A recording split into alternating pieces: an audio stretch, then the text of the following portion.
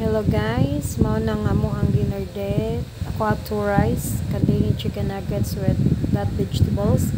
Nanya pansit canton, chop soy, french fries, and kanang sinigang na baboy. Unya,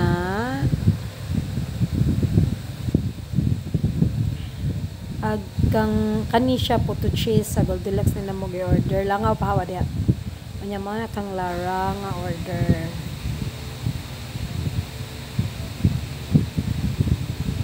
Mara na siya. Thank you everyone sa pagtanaw o happy me kay nakakaon ni karong adlaw. Thank you Lord. God bless everyone.